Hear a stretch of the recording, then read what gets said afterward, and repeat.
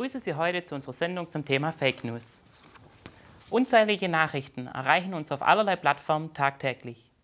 Gerade bei Social Media ist es wichtig zu wissen, ob wir diesen vertrauen können. Falschmeldungen können ungeahnte Konsequenzen für uns und für die Gesellschaft haben.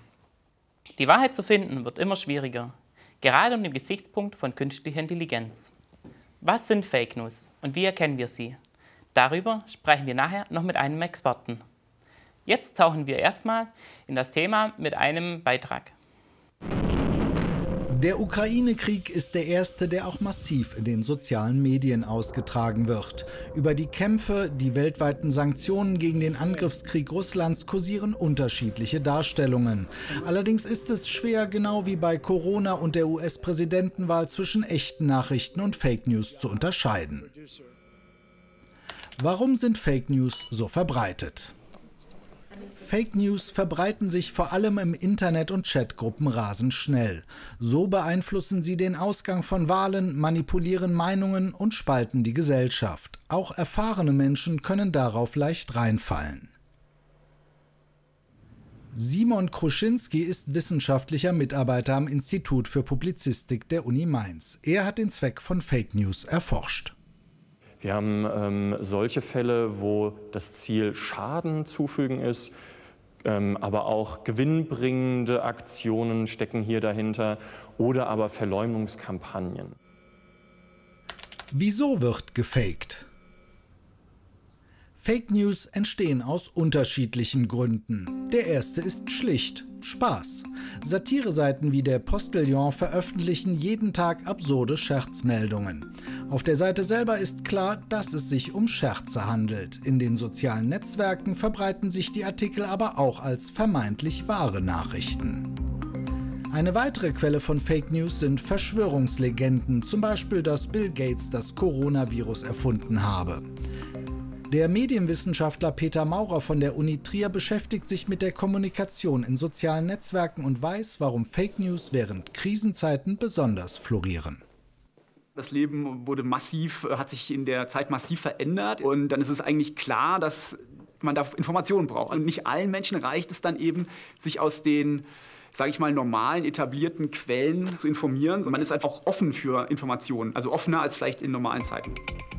Der dritte Grund, mit Fake News wird auch Geld verdient. Programmiererteams erstellten während der US-Wahl 2020 unzählige Falschmeldungen. Jede News bringt Klicks auf ihrer Seite und damit Geld durch Werbung. Im aktuellen Krieg kursieren unzählige Videos und Nachrichten von tatsächlichen oder angeblichen Gräueltaten des Gegners und eigene Erfolgsmeldungen. Welche davon wahr sind, ist kaum zu überprüfen. Wie entlarvt man Fake News? Man muss schauen, ob sich diese Informationen, die man bekommt, auch auf anderen Medienseiten wiederfinden lassen, auf seriösen Medienseiten. Das andere ist, dass man auch die Quelle nochmal überprüft. Dabei helfen verschiedene Angebote. Faktenprüfer gibt es zum Beispiel von korrektiv.org, verschiedenen Nachrichtenagenturen oder journalistischen Plattformen wie tagesschau.de. Über die Bildrückwärtssuche von Google oder TinEye kann man prüfen, ob Bilder bereits woanders, eventuell auch in einem anderen Zusammenhang verwendet wurden. Seriöse Nachrichten nennen außerdem ihre Quellen oder weisen ausdrücklich darauf hin, dass bestimmte Informationen noch nicht unabhängig bestätigt sind. Fazit Fake News kursieren vermehrt im Netz und sollen politische Meinungen manipulieren. Für den Laien sind sie oft nicht sofort erkennbar. Deswegen lohnt es sich, mehrere Quellen und seriöse journalistische Plattformen zu vergleichen. Gibt es auch heute einen Brennpunkt im Anschluss an diese Tagesschau? Die Erfahrungen mit Fake News sind ganz unterschiedlich. Wir haben eine Gruppe von Bürgerinnen und Bürgern zu dem Thema befragt. Wer täglich Fernsehen, Radio und äh, schreibende Presse liest und hört, der ähm, hat ja immer auch falsche Nachrichten dazwischen. Ich hatte schon äh, äh ganz viel mit Fake News zu tun und ähm, ich finde, jeden Tag gibt es eine neue Fake News. Man kriegt vieles in den Nachrichten mit ähm, oder hört man auch in der Schule, aber ansonsten mich selber jetzt noch nicht wirklich betroffen. Ich halte es für eine gefährliche Geschichte, weil man nicht genau weiß, in welche Richtung da sich das alles entwickelt. Es gibt viele Leute, die drauf reinfallen, können nicht direkt unterscheiden, wahr oder nicht wahr. Auch gerade im Bekanntenkreis, dass äh, ähm, Leute auf Fake News reingefallen sind, also äh, dann auch tatsächlich der Meinung waren, äh, das, was sie da hören in diesem Beitrag, das ist das Nonplusultra. Dass viele Leute da eine andere Meinung darüber bekommen, die in dem Fall nicht stimmt. Ich denke schon eine Gefahr, dass die Leute ja, arg Einfluss nehmen auf vielleicht ja, negative Dinge, die sie verbreitet haben wollen und ja, das dann negativ ausnutzen. Darüber spre sprechen wir jetzt mit Thomas Nettelmann. Er ist langjähriger Nachrichtenredakteur beim SWR und Experte für Fake News. Guten Abend, Thomas Nettelmann. Hallo, guten Abend. Ähm, wer und mit welchem Interesse verbreitet Fake News? Das ist ganz unterschiedlich. Ähm, es klang ja eben schon in dem Beitrag an, es gibt politische Gründe, es gibt aber auch äh, äh, Leute, die Spaß haben oder eben Verleumdungen in die Welt setzen. Äh, ich selber habe das zum Beispiel intensiv erlebt in der Corona-Zeit, ähm, was da alles in die Welt gesetzt worden ist. Ich kann mich an ein Beispiel erinnern, wir hatten den Fall eines Mädchens, das in einem Schulbus zusammengebrochen ist, eine 13-Jährige, und anschließend im Krankenhaus gestorben. Ursache war erstmal unklar, aber es kam dann sofort die Fake News, jawohl, es ist gestorben, weil es eine Maske getragen hat. Das war halt zur Zeit der Maskenpflicht.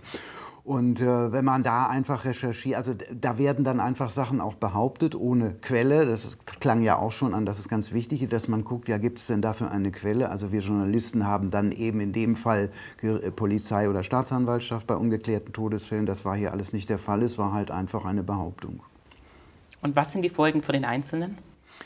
Ja, wir müssen halt aufpassen, äh, weil sich die Medienlandschaft hat sich halt komplett verändert. Ähm, jeder wird heute ja geflutet, vor allen Dingen junge Menschen über Social Media.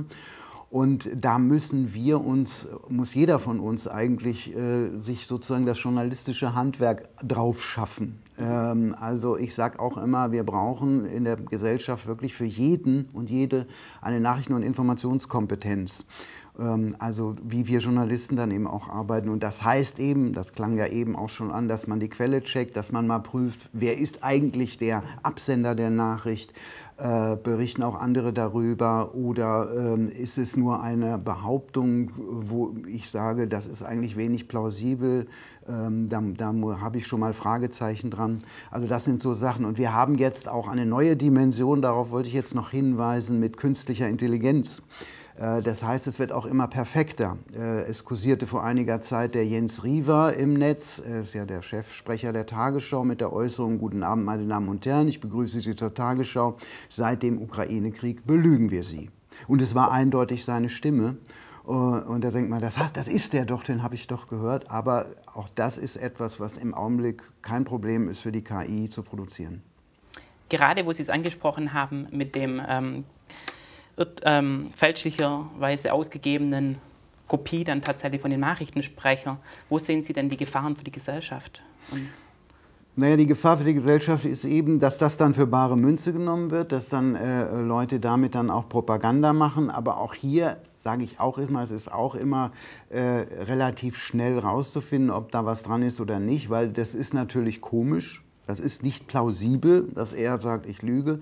Und natürlich hat die Tagesschau das sofort richtiggestellt. Das heißt, man findet im Netz dann auch sofort die Auflösung. Also das muss man einfach immer wieder äh, machen. Ähm, das ist auch kein großer Aufwand, weil auch immer gesagt wird, was soll ich noch alles machen? Ja, man kann es ja auch ignorieren, was auch immer das Beste ist. Oder eben man prüft es und man hat es in den meisten Fällen eigentlich relativ schnell klar, nein, da ist nichts dran. Wie kann ich mich als Individuum vor solchen Sachen schützen, dass ich so etwas erkenne oder auch tatsächlich betrügerische Aktivitäten im eigenen Umfeld? Naja, indem ich eben genau das anwende, was ich äh, eben versucht habe zu erläutern. Also diese einzelnen, also das muss man quasi immer wieder für sich abrufen. Wer hat diese Nachricht geschickt? Mhm. Ähm, wird es äh, begründet? Gibt es eine Quelle? Berichten auch andere darüber? Ähm, oft werden auch äh, Nachrichten dann, äh, komische Nachrichten mit Fragezeichen verbreitet. Das hatten wir zum Beispiel bei der A-Flut, da tauchte plötzlich auf 600 Baby- und Kinderleichen gefunden. Fragezeichen. Und da kann ich auch immer sagen, wegwischen, weil wenn ein Fragezeichen, dann ist es keine Information, dann ist es nichts. Vielen Dank, Thomas Settelmann. Gerne. Wie entsteht eine Fernsehsendung? Darum ging es heute bei einem Workshop beim offenen Kanal. Zum ARD-Nachrichtentag haben der SWR, die Medienanstalt und OKTV Mainz interessierte Bürgerinnen und Bürger aus Rheinland-Pfalz und Baden-Württemberg eingeladen. Das Ergebnis ist diese Sendung. Die Workshop-Teilnehmer haben die Gelegenheit, in alle Bereiche reinzuschnuppern. Sie erfahren dabei, wie Fernsehen funktioniert und schauen hinter die Kulissen eines Fernsehsenders. Sie erstellen dabei Beiträge und Interviews zum Thema Fake News. Sie übernehmen dafür alle Aufgaben, die benötigt werden, um eine Sendung zu produzieren. Die Bandbreite reicht von Moderation, Redaktion über Regie bis hin zu Maske. Am Projekttag werden sie betreut und angeleitet von Medienexperten von SWR und dem offenen Kanal. Die Altersspanne der Teilnehmer reicht von 20 bis 70 Jahre.